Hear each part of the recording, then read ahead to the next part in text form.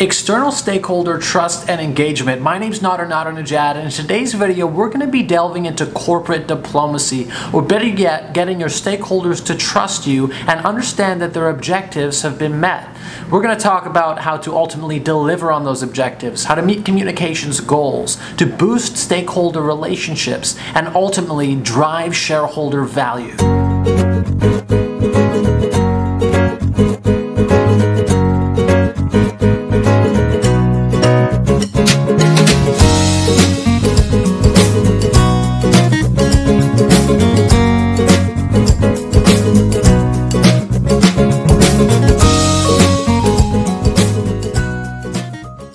Why are we talking about corporate diplomacy? Many of my videos are very tactical. They're, they're looking at individuals and helping them fix their online reputations, remove court records, suppress documents, bury news articles. So why are we talking about such high-level corporate communications and, and about building stakeholder trust. Well, this is something I see many corporations do wrong. And there are corporations writing off hundreds of millions of dollars a year because they can't adequately manage their relationships with stakeholders. It's all about impression management. Stakeholder trust, I'll say it again, is about impression management. It's about the way other people perceive you. And it's about managing your impression by not only managing the social conversation that's out there, but the entire path path that your stakeholder engages. So let me explain that your stakeholders need to be mapped. Every single one of them. You need to sit down and map your stakeholders. So you need to say, okay, where are my best stakeholders who are driving the most revenue? Where are my problem areas? And, and let's map that out.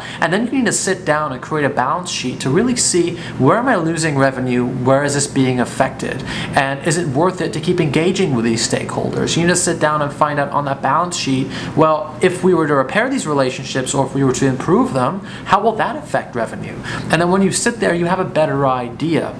Now, you need to get down to the granular level. That's usually where most agencies will stop. That's internally where most corporations will stop. But you need to take that to the next level and say, okay, for each of my individual stakeholders, can we sort them into categories? Okay, now that we've done that, what paths do they go on and, and, and, and how do how do we influence them? So let's say you have a stakeholder um, who searches you. They're looking at you on they, they engage with you. So so that's one way that, that they're going to be influenced by you is they're going to engage with you they're going to speak with you they're going to meet with you. So how can you you know alter that variable so that every time they engage with you, you're getting your hands dirty, you're really helping them and they feel helped and, and they feel like you're there for them. So that's one thing. But also, perhaps they're being fed media about you online. Perhaps they're monitoring the social conversation.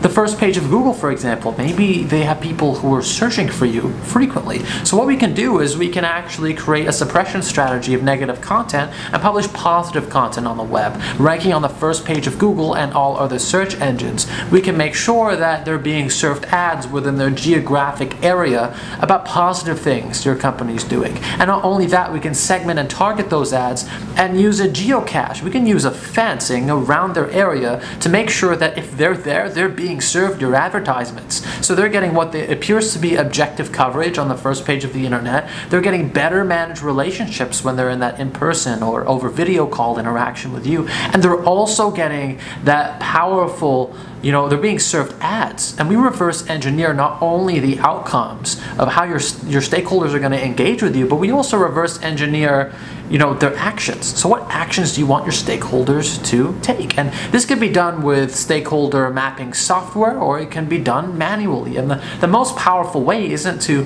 download a software or use a corporate tool. It's actually to sit down with professionals and map out stakeholder relationships and how to influence them.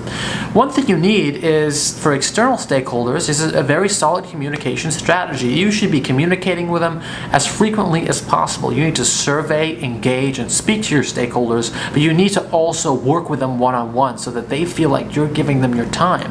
And that needs to be managed. Human capital needs to be managed when you're engaging with your stakeholders. So there are so many different aspects to, to, to look at, to monitor, and to measure. But measuring aside, regardless of all the operations within your corporation.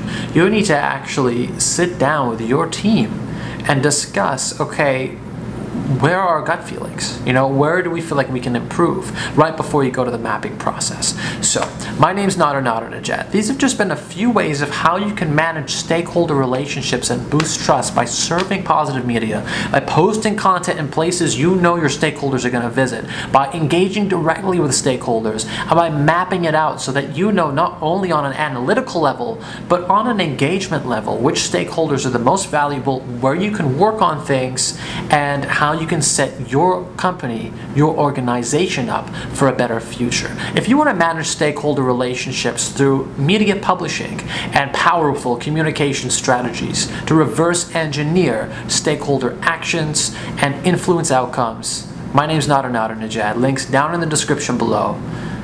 Thank you for watching.